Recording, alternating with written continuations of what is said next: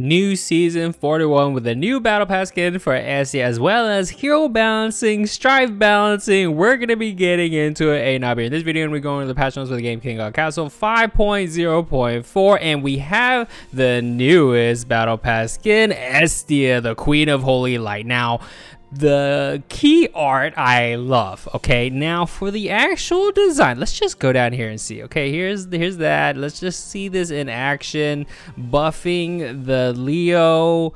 Now I must say, um, okay, so first impressions, Esthea has always been kind of like this, where she's kind of like stationary statue, and the only thing really moving is like the thing from her lantern, right? And I think that is the biggest disconnect for me here is there's not a lot of freaking motion, you know what I'm saying? Like she's not moving a lot, you know. She has like the hand, her left, her left hand actually is like doing a little prayer thing, so she kind of does that when she casts. So I think like dynamic wise, it's kind of stale and kind of boring, but is that it's it's just how Esthea has been, right? So I can't I, I, don't really know how I feel about that now for the effect particles. Now there is some overlap where like it doesn't look that much different. It's like shiny, it's gold. Well, guess what? Like her her normal effect is also like shiny white like kind of this fire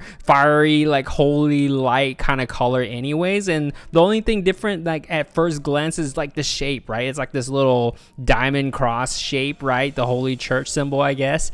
And from that, it just looks the same. If you are regular Joe Schmo looking at this, it's not much different in terms of effect wise. Now, when she does her ability, you can see like there is like an, an actual like a little spark thing going on, but I mean, it looks very samey is what I'm trying to get at. Now, for her actual look, I actually like it. And the reason why I like it is because of the black.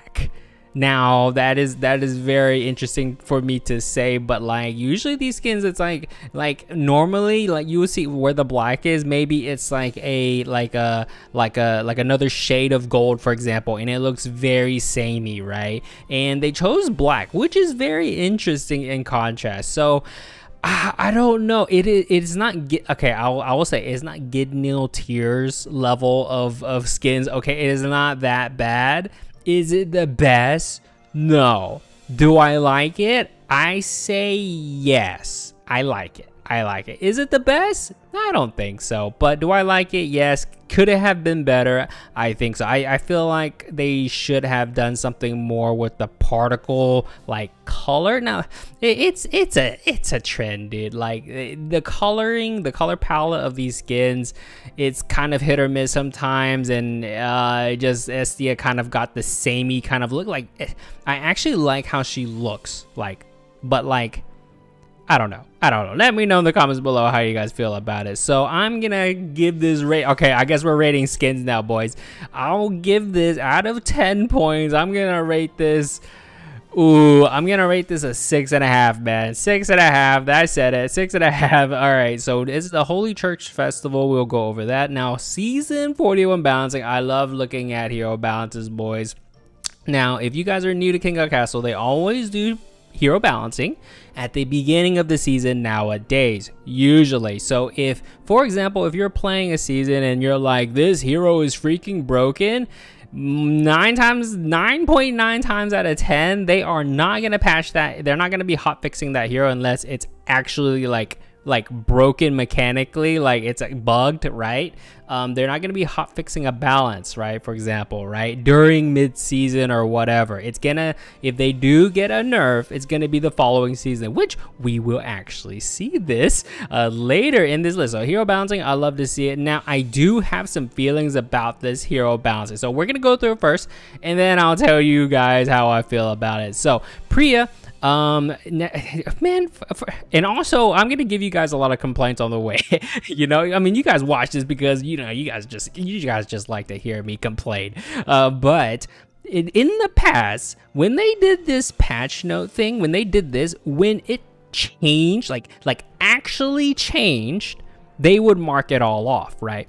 But when they're only tweaking some numbers, they like they like highlight it, right? They kind of mark out or or something like like do they need to mark out the whole thing? Like when they mark out this thing, I don't know. Maybe it's just me misremembering. But in the past, if I my my my knob brain is like when they crossed out the whole thing that means they are actually changing the entire effect. But you can see they are not changing the effect, boys. They're just increasing the freaking numbers. They're just making it more damage on the tick. Do they need to ink like what is this like a like a formatting like inconsistency? I don't know. Let me know. Am I crazy? I'm probably crazy. Originally, Priya's first awakened ability intense cold. Now if you don't know what this is this is the one where when priya does her skill it leaves the uh, frost field right on the on the on the ground. Uh, it was one of the awakening abilities used as standard when adjusting the power of other awakening abilities as time goes by. Um, yes power creep um, uh, has this has been slightly disappointing option compared to freezing armor. Accordingly the damage amount of damage inflicted by intense cold is increased. Now Okay, I'm gonna save at the end, boys. Oh, we're gonna go through the whole thing. I'm gonna save my comments to the end, boys. Um, so Yan, all right, Yan. So Yan, see, they did they did it again. They crossed out the whole thing, making me think that they're actually retooling the awaken ability, but no it's the same thing, but they're tweaking the number. That is that that they're increasing. Now, to be fair, this right here, the 60 more percent is kind of crazy. Um, but in the case of overflow, when Yan's first awaken ability compared to backflow, it is more advantageous when there are many units on the field. As the length of battle gradually shortens and the number of units become less, the situation in which this awakening is chosen uh, more effective than backflow have become less common. Accordingly, we increase spell power Okay, uh, Rahak, same thing. They freaking cross out the whole thing. I mean, you, you, guys, you guys get it. You guys freaking get it. But they're only increasing the damage of the second awakening ability by 30%. So Rahak's second awakening ability, Rigid Claws, changes Rahak, uh, whose existing role was a debuffer, into a DD. However, as KGC average damage amount continued increase, it became uh, difficult for Rahak to play the role of a DD. With this bonus, accordingly, they increased it. Agath uh, more damage reduced. See, like what? But see, they they just changed the uh, percentages here, but they didn't mark it off. Why? Why didn't they just mark this entire thing off and then did another? It's a formatting inconsistency, boys. Awesome piece please awesome piece. Uh, Agath is a support tank that uh, protects the front line by taking damage of enemies based uh, on the highest physical strength. Uh, however, due to continuous new updates, other me methods such as HP drain, visibility, CC become more effective than reducing damage using Agath. Accordingly, the damage reduction value has uh, been buffed. Okay. Nabella now is very interesting because Nabella is, uh, know, if you follow my tier list, she is pretty down there in the tiers, but they are, see, they did the freak, man, bro. They crossed it out and all they're doing is making the damage dealt, um, better, right? They are making the penalty for using this less. So it's only 30% minus damage instead of the minus 40. So in case of Nabella's second awaken ability, um, Nabella has an advantage of being able to maintain the position of friendly line. However, because its damage reduction amount is too harsh, it does not get selected. Accordingly, the amount of damage inflicted by Desert Charge is increased. Wait, increase? Oh, they're just saying they they they. It's okay. Okay, I, I get you. Awesome piece. Increase. I get you. I get you. I get you. It might be a translation thing. Uh, Kathy is receiving a buff. That is kind of crazy but I do think she needs a little uh, a little push for sure. So they are changing the numbers only. Okay, changing. This is her second awakening ability, by the way, and then they are buffing it by 20% more ricochet damage. Uh, Kathy's second awakening ability, Strafe, is not chosen often because of the risk of making ricochets unpredictable is excessive compared to his increased damage output. Therefore, we are increasing the ricochet damage so that Strafe becomes a viable option. I'm saving it, bro. Let me save it. Let me save it. Ian. Ooh, they are actually retouching Ian. That's kind of crazy. So they are adjusting his second awakening ability. Okay. Um, they are they're they're they're they're not changing it. Okay, they're just buffing the number. All right, boys, buffing the number. They're increasing the damage to 10% for each hit to 15%. Now let's see what they have to say. Ian's second awakening ability is an awakening ability for dealing damage to small number of enemies, such as boss battles. So if you're using, if you guys are using Ian, if you've been playing, if you do raid, you know that Ian, you use Awakening to Use this one, okay? Um, this becomes more effective than the first Awakening as the duration of battle gets longer. However, considering the short duration of King Castle battle in general, it is difficult for Awakening 2 to perform better than Awakening 1 in most battles. Therefore, the damage increase amount of confrontation is increased to reflect this lack of benefit compared to Awakening 1. Thorel decrease spell power by 60%. Man, and that is crazy that these... So it's kind of interesting that in a previous timeline, Awesome Piece would let this guy just rock for many, many, many, many seasons until actually nerfing him. And it is kind of crazy that they they are nerfing him. And you see at the bottom right here, Karam, she's getting nerfed. The pat the season after she was released, which is crazy. Which is crazy. Usually they let that rock for a while until actually touching. Um and uh, man, we'll get to it. We'll get freaking get to it. So Thorel is actually getting a decrease in spell power because he had he has the most spell power, base spell power in the entire game. The spell power of Awakening 1 is lower because the accumulated damage is higher than expected compared to the skill use frequency. So decrease spell power by 16%. So at level 1, star 1, it is 60 instead of 70. Now will this destroy him and all of a sudden like make him D tier? 16%? I don't think so. I don't think so. It just makes him not as insane crazy as when he was first released. Um, and will he be still strong? I definitely think so. I definitely think so. So yeah, I don't think this really. It, uh, man, it's kind of interesting because usually when they when they do uh, nerfs like this, it is not by 16%. It's usually like 5%, 10% in the past, and then eventually, like over like you know freaking three seasons, then it reaches like a 16% nerf, right? They went straight 16%, which is kind of crazy, right? And it's it's it's different than how it has been in the past. So I think Thorel is still gonna be really good. Now, Karam. She just got released last season, boys. Like literally two patches ago as a recording of this video, and she already freaking got nerfed. That is how strong she was.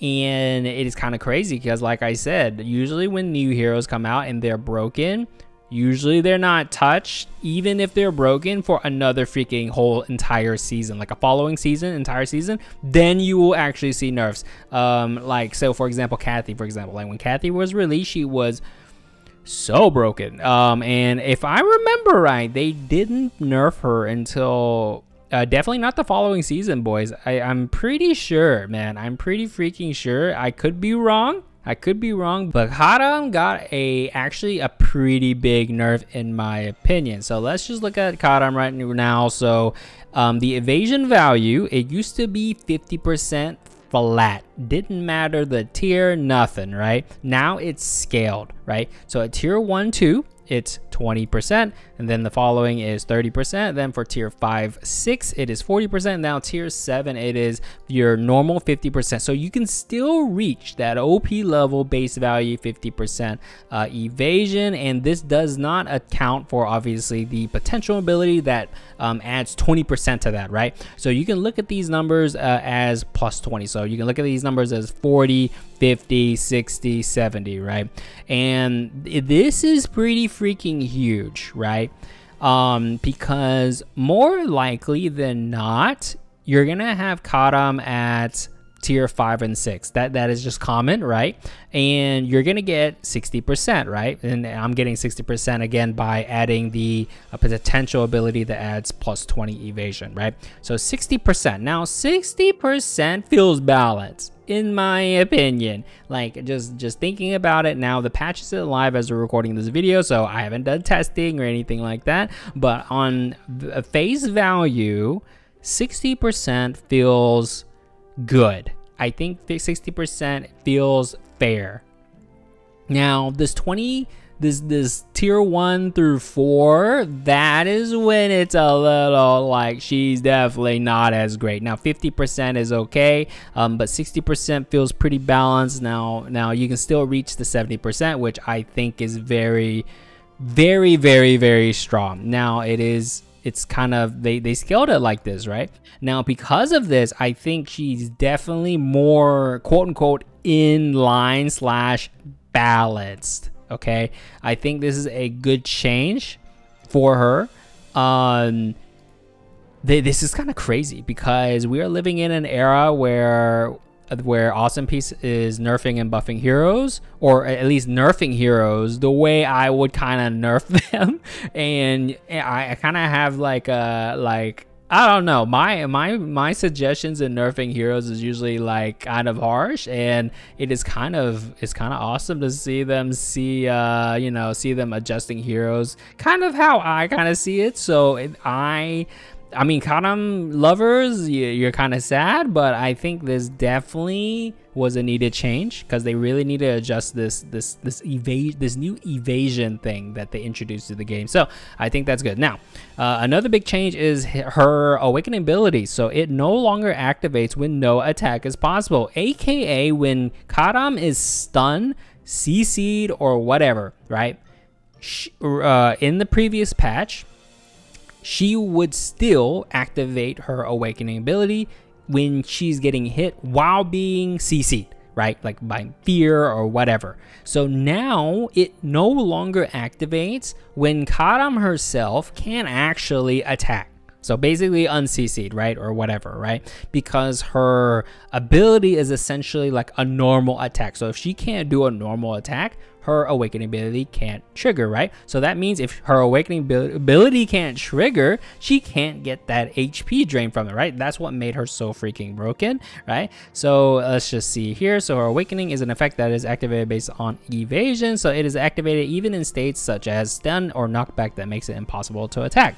Now, the Awakening is also considered a form of attack and will not be activated um, when doing so. In addition, uh, her evasion rate has been lower compared to before, but can, the probability has been changed depending on her uh, scaling, right? Combined with level 4 characteristic at 7 stars, you can still achieve the 70% evasion as before, which is a nice balance. Now, um, let's just go through the rest of it. So Shelda, they are increasing her spell power, and then her they are adjusting. They are nerfing her uh, mighty block generation uh, by one for all levels. This is a very interesting change. So mighty blocks provided through absolute wheel. This is awakening one, by the way, is increasing in value as the overall damage. Uh, King God Castle increases. As a result, at this point, Awakening 2 is not chosen over Awakening 1. Accordingly, Shelda's spell power is greatly increased, and the number of Mighty Blocks obtained through Awakening 1 is reduced.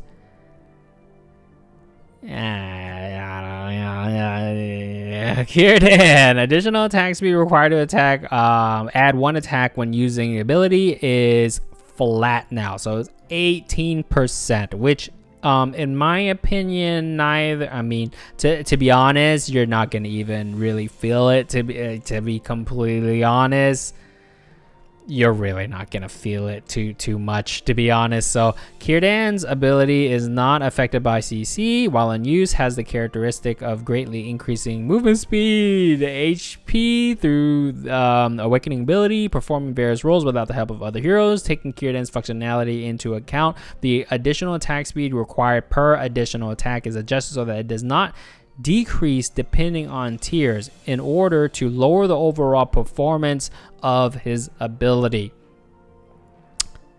Okay, before we get into this, before we get into this, man, well, how long have we been going for? Man, we've been going on for, uh, okay, so too long, too long, boys. I gotta talk faster. I gotta talk freaking faster. Um, so how I feel, okay, so I love Awesome Piece, all right? I love Awesome Piece.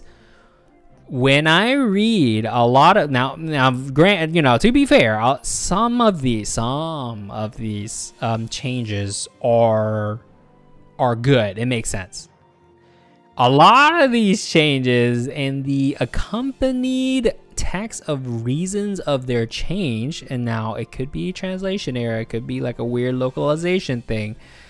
It feels like, at least for me, it feels like the person or the group of people who were in charge of this hero balancing and um and made the reasonings for it, and you know, assuming it's the same people, they are not well in tune with King God Castle and and have they haven't really been playing it for a while. Like it feels like they've been working on another game, for example, and then they were pulled over to help with the hero balancing, and this is what they came up with, and then these were the reasonings uh, that they came up with um, based on data alone. And that's what it feels like, okay?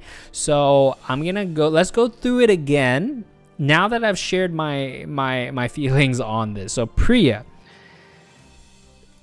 you're not, this doesn't change anything. This doesn't change anything, boys. Anything. Maybe you can, you know, I for me, I this when I see this, I'm like, cool. Maybe I can try a fun Priya hero boss raid build. That that's it, boys cool, right? That's how I feel about that. Yan.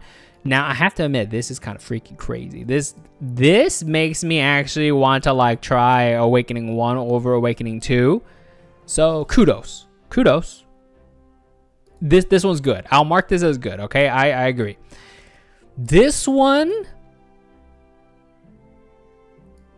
you're not gonna feel it. You're not gonna freaking yep you're still gonna use Awakening 1 nine times out of 10. You're still you're using Awakening 1, boys. I I mean 70%, 100% cool. I mean that's better if I want to do that a niche Rahak solo carry build. Sure. Still doing Awakening 1 dog. I, just, I mean I Agath um increase uh, the uh, the the damage that she can protect from, right? I love Agath. Um, I welcome the change. Cool. Um, Agath is still being used. I I think this this is a good change. Okay, this is good. This is good. Oh, Annabella, Annabella. All right. Um, so they are saying that the damage reduction was too harsh that it does not get selected. So they reduced it by 10 more percent, as in, like, you know, they gave back damage. I will tell you right now, it is still never going to be used. And Nabella is still going to have freaking issues, boys. Kathy, bro, I don't understand what am I playing the wrong game? Am I playing on a wrong patch? What is going on? Why is Kathy receiving a buff? Now, I do think that Ricochet like she needs like a a, a like a slight buff um slight like a, a slight okay and this is a slight buff in the direction that i would like cool um i welcome this but the reasons why they give why they're buffing it in the first place is the the confusion right Strafe Awakening 2 is not chosen often? What? Uh, isn't isn't Awakening 2 like the default chosen thing for Kathy? I mean, it's the default chosen, but yeah, there are some situations you want to do oh, uh, Awakening 1, but Awakening 2, the Ricochet one, is the one that everyone uses. Am I am I wrong? Am, I mean, you guys can comment down below, like you know, Nob, you're you're freaking on copium again. You know what I'm saying? Like, but well, Strafe is not chosen often because of risk of making ricochets unpredictable. Is excess what? I don't know, bro. I don't. This one, okay. This one's like a half and half. Okay. the the chain the buff is welcome. The reasons why they're buffing it is like I have no freaking clue, man. I have no clue where that's coming from. Like I said, it could be a localization error, translation. I don't know.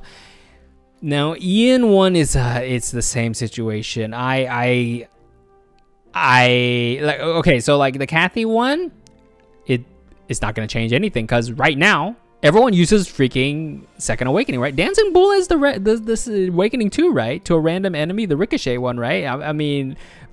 I mean, it's not gonna change anything. People are still gonna be using Strafe, right? And Ian, they are wanting to buff this. So people will use it more than Awakening 1. I will tell you freaking right now, like seven times out of ten, you're using Awakening 1 is because the freaking AoE one shot, you know, a lot of damage. That's what people love, right?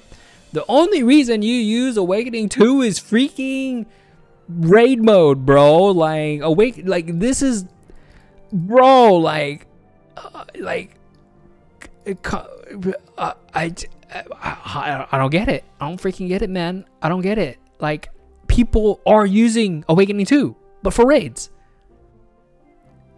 by increasing the damage, all of a sudden, it doesn't make the people using Awakening 1 using Awakening 2 because you don't use Awakening 2 other any anywhere else but raid or like I, I imagine like competitive uh, tower trials or something, right? I I I don't know the logic, man. I don't know if it like like this okay, like the same thing. The the change I welcome. Cool, more raid damage reasoning is just out of left field, dude. I have no freaking clue. I have no clue. Uh, Thorel, I welcome the change as well. I mean, it's it's unfortunate that he has a reduction in damage, um, but this is self-explanatory. Cool. Karam, this is a good change. The reasonings are sound. Cool. The Shelda one, I do I don't get, guys. I absolutely do not get the Shelda. This is probably the worst one, in my opinion. Um, now, I welcome the spell power change. Cool, right? Very cool. But why? Why did you have to do this? Did you really have to do this? And the reason why they did this was because they wanted people to use Awakening too. Explosive Will. What? Like we're talking about two archetypes, two different freaking archetypes for Shelda. If she like the Shelda is like one of those heroes that there's not many in the game where depending on the awakenings that she chooses, she becomes a tank or like a damage dealer, right? I mean, you know, you know, technically you could do Awakening 1, Great Rift, you know, Magic Arrow and make that a damage, you know, I'm not talking about that, okay? But just on face value, Awakening 1, tank, Awakening 2, damage dealer, okay? Just look at it black and white. We're not talking about like Great Rift. You can do Awakening 1, Magic Arrow, okay? Um, but she is one of those heroes. And I think you should split the two. You shouldn't make one worse because you want other people to do the other one, right? And it doesn't make sense for Shota because if she does one, she's technically a tank, and the other one, she's a damage dealer, right? So in this case, yeah, sure, increases spell power, right? But why would you touch the tank part? The tank awakening, bro? I, I don't get it. I mean, yeah, like because she they increase the spell power that means that the shield that she gets will get higher so they should nerf this. So it's kind of like yeah, i don't know man i don't know i don't know. And guess what?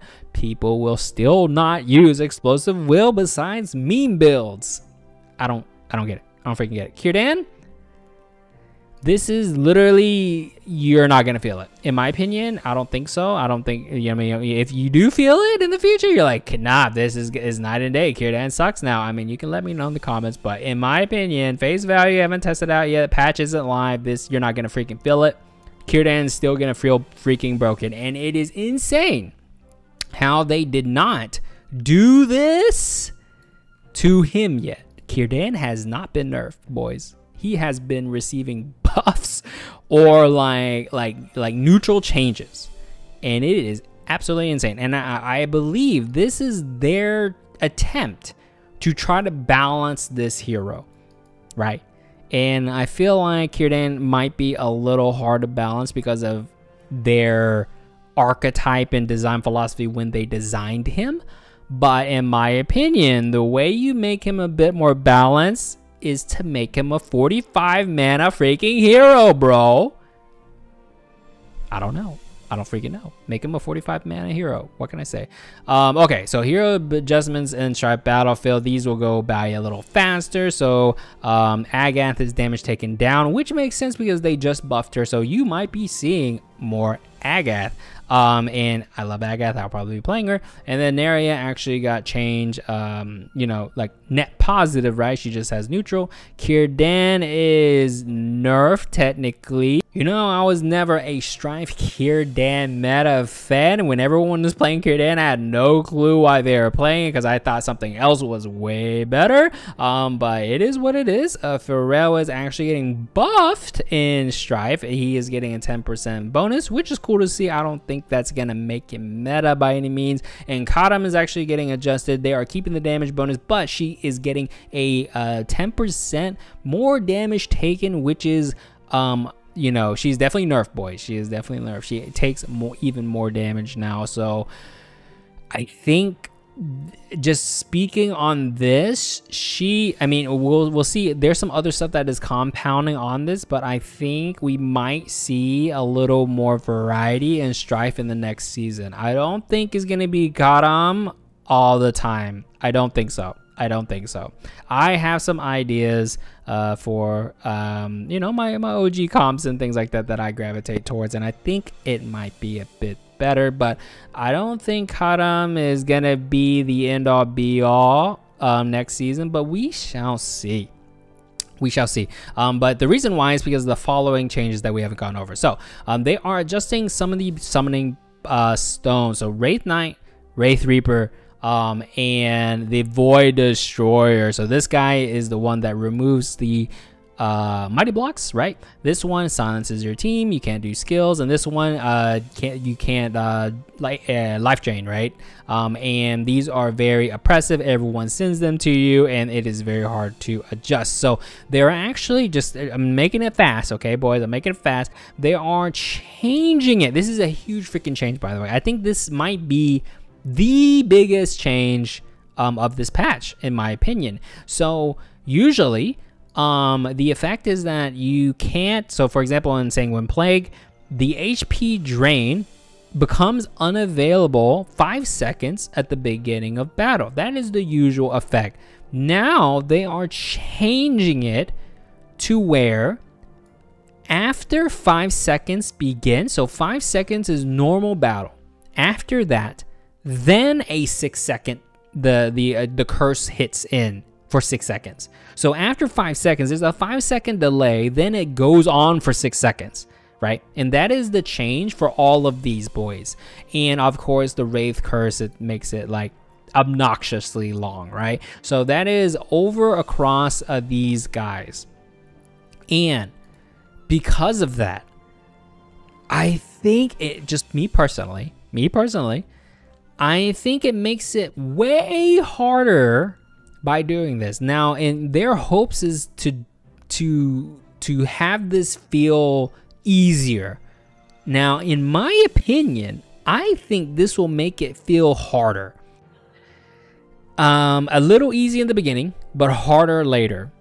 Um, and the reason why is because I much prefer having like the sanguine kick in at the beginning of battle and then and then like stun lock the team or whatever or or you know because there are there are seconds in battle where there like a lot of units are teleporting or walking or doing like that. So a lot of the in-game game time is burned by the start of round like maybe a second or two right?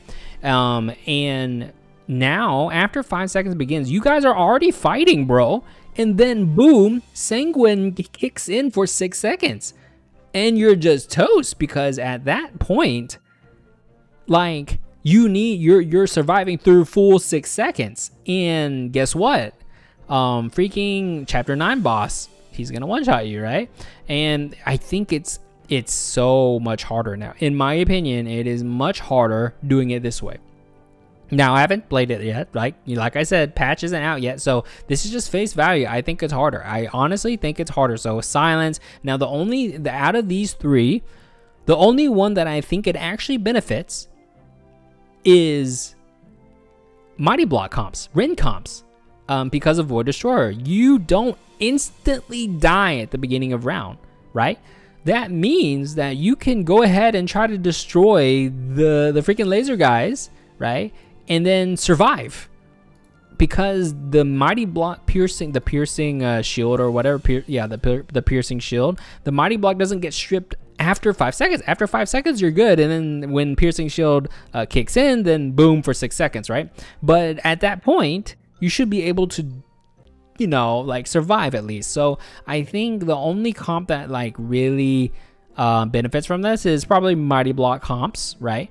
And um, I'm gonna, I'm just gonna share you guys a little, you know, Nob tech. Um, I do believe then in the next season for Strife Battlefield, the the the popular combo is 1000% going to be um, a combination or whatever with these three plus freezing totem. Because freezing totem can delay the opponent's carry um, and then when they get out of Freezing Totem, guess what? You're getting smacked by the curses straight up. It's a freaking nasty combo.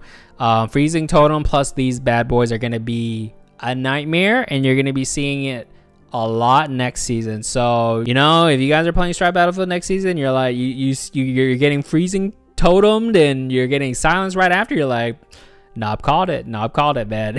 Nob called it. Now you guys can do it since you guys are watching this video, of course.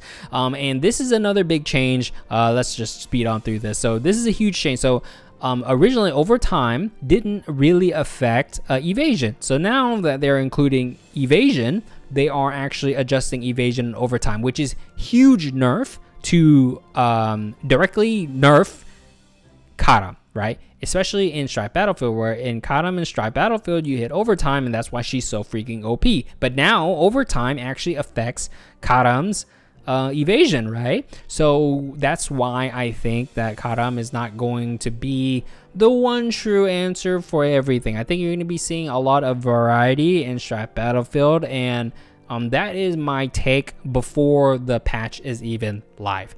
Um, and then now you can rejoin your Strife Battlefield game now, which is nice. But apparently, if you you have to complete a stage or something like that, but it is nice that they allow you to join a match in progress in case you force quit or something like that, and you can jump back in um, it might actually disconnect disconnect you altogether if you take too long. So um, at least the function is there, and Strife Battlefield has been increasingly feeling better and a lot smoother. There's gonna be uh, there's a lot they need to optimize it more, dude. Like they need to if there's a game breaking thing, they need to stop Strife Battlefield altogether and just maintenance that bro. Like they don't they can't let it rock man. Um, it is kind of a fiesta right now in terms of the strife battlefield optimization and how they're handling it and things like that. And it's just it's a it's a nightmare right now in my opinion. But it is growing pains growing pains. Um so they are changing the skin grading system uh just just based on skin tiers and the amount of gems and they're trying to uh, make it make more sense cool um, and then there's a bundle for skins. Is that a Seirong skin? That is a Seirong skin. Uh event bundle package huh? Is this an event skin that you can buy? I guess so. Is this a new skin I guess so. And this is another huge thing. Kanak rework preview. So in the next season, season 42, he will be having new skills, characteristics, awakening abilities. Oh my gosh, I cannot freaking wait, dude. Please make him like super S tier. Man, it's gonna be so awesome. Um, and they're just letting us like they're just teasing us basically. And please do this to more characters, especially the old old guys man, I love to see it. Here's a scroll blessing if you want. I honestly don't recommend it, but it Karam is in there. But don't get baited. Don't get baited. Uh, this oh, it is it is the new uh, new skin. Seirong. Cool. It's cool. it's cool. It's not it's not the best. Bug fixes, cool. Um, and then new chromas for Chang'e, Rahak, and All right, let's check the rest of this. Uh, event mode. Uh, Daniel. This is the returning battle pass skins. Daniel. Uh, Daniel's cool. You know, to be honest, I, I like Daniel more than Gidnil. Um, I do like the SDO one more than this one for sure. So, um, yeah, unfortunately, but this is still cool skin. Cool skin, you know. Let me a Daniel. Uh, Mercil skin, pretty cool as well. There's the effect. Uh, Lionheart, my boy Leo. This one's pretty OG, you know, pretty old you know standard standard. Now as a reminder if you guys want to see any of the skins and the effects and the sound effects it is on my channel on my skin playlist. I'll be updating it with the new ones as well. And then here's this one. Here's the calendar if you care about it. Um, and then boom boom boom. Here's the raid stuff. Blade uh, blood greed for solo. Then uh, giant mage hero blacksmith if you care about raid. And then here's the grand arena buff uh, for south heroes and swiftness for next next uh, season now, please. Awesome Piece. Give us the freaking heroes, please. please list the heroes, the South heroes, and the the Swiftness. Come on, come on, bro. I've been I've been complaining about this for for so long. Uh, one day, one day. Let me know in the comments below what do you think about all of these changes, especially the uh, summoning stones. I love me the um, the freezing totem plus the curse idea. Uh, let me know about your thoughts on the Karam nerf and Thorel nerf especially and all of these changes I I definitely feel like it's weird. Do you feel like it's weird as well? What do you think about the Esthea battle pass skin? Do you like it? Will you be getting it anyways? Let me know in the comments below. As always thumbs if you like this subs if you loved it and I see you next one boys. Later